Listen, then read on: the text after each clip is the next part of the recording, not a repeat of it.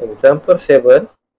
Given y equals sine ln x, prove that x squared times d2y dx2 plus x dy dx plus y equals 0.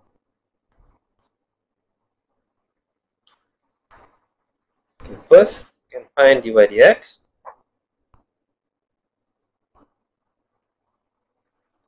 dy dx equal differentiate sine become cos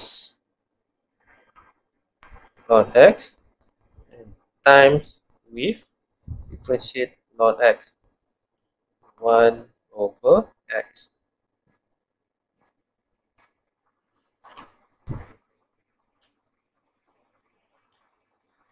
Okay, next you can bring over x to the left side become x dy dx equal cos ln x.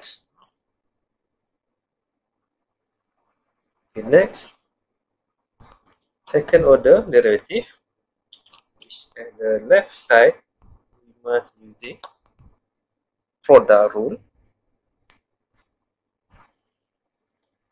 x d2y dx2 plus dy dx time with 1 so equal differentiate cos become negative sine ln x and multiply derivative of ln x 1 over x.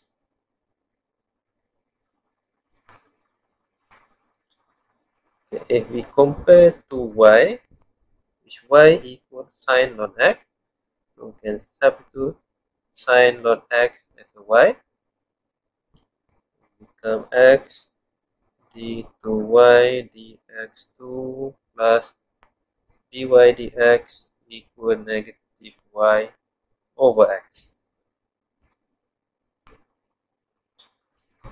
Next, we multiply all with x